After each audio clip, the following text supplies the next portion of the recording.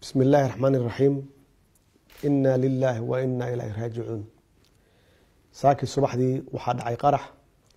Meesha loo yaqaano ex control ee aada waddada aada afgooye.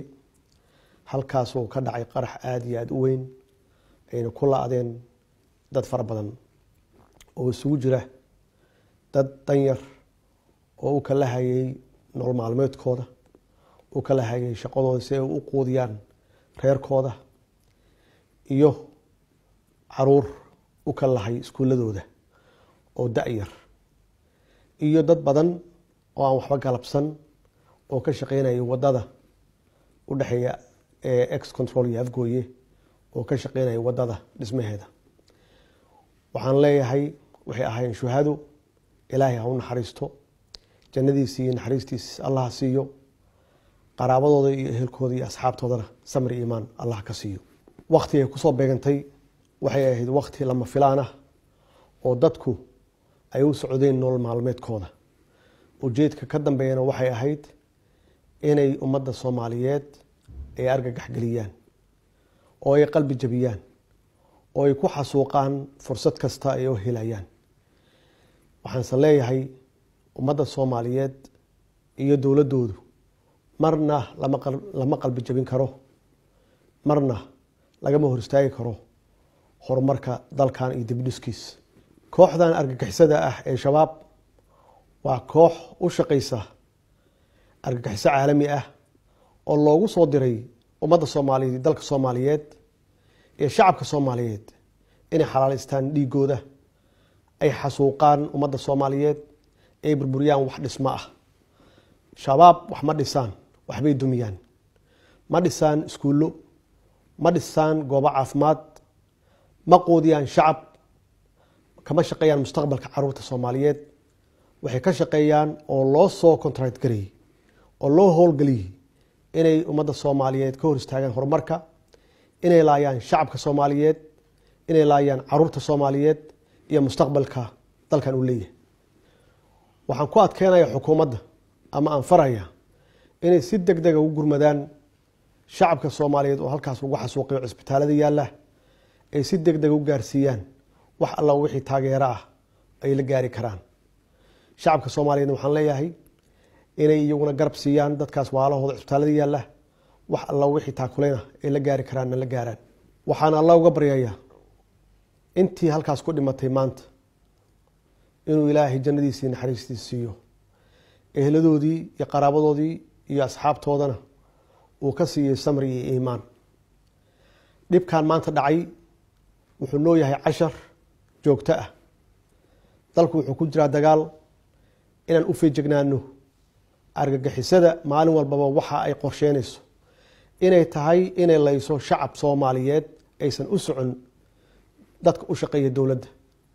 Waxaa loo baahan yahay inay arinta maanta dhacday oo argagixisada ah oo naxdinta leh inay namidayso oo aan hal meel uga soo wada jeysanno la dagaalanka argagixisada iyo cidda la shaqaysata.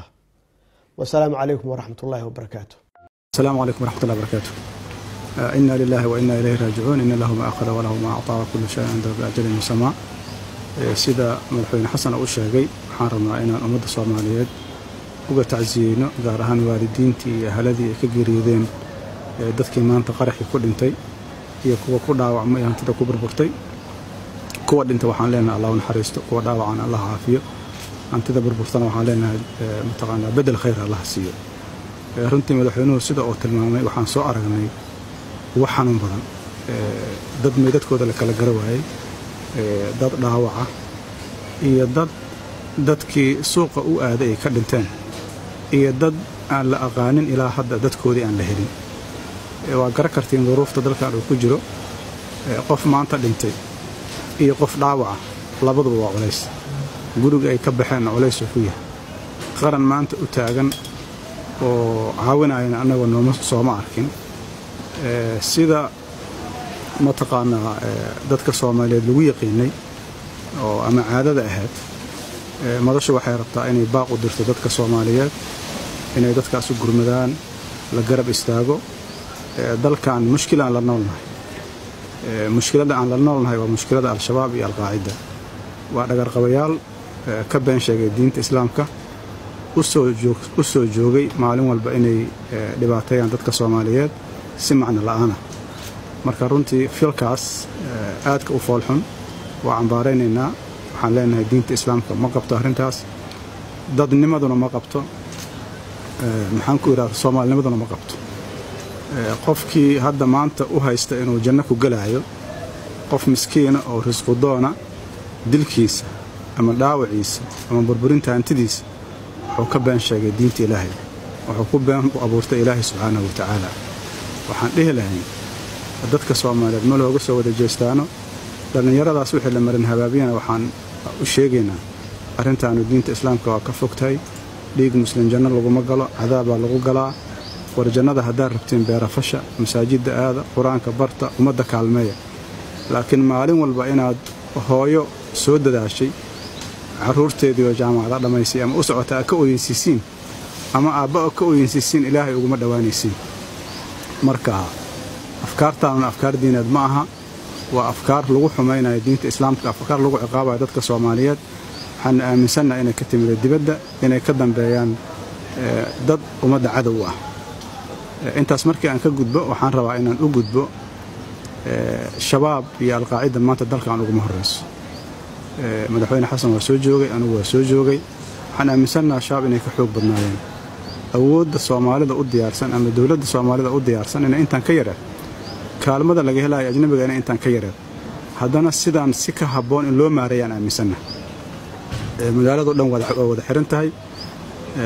Waxaana lagu marmarsiyooda arrintaas arrin amni inay tahay marka la fiiriyo qaraxii zooba ka dhacay iyo qaraxan marka la isku daro tirada ku dhimatay aaday u badanta waxa keenayana waxaa waa istaraatiijiyada khaldan oo amniga loo sugaayo oo u suuro gelinaysa cadowga inuu mar walba uu doorto xilliga uu rabo iyo meesha uu rabo in uu doorto oo dadka ugu badan uu laayo.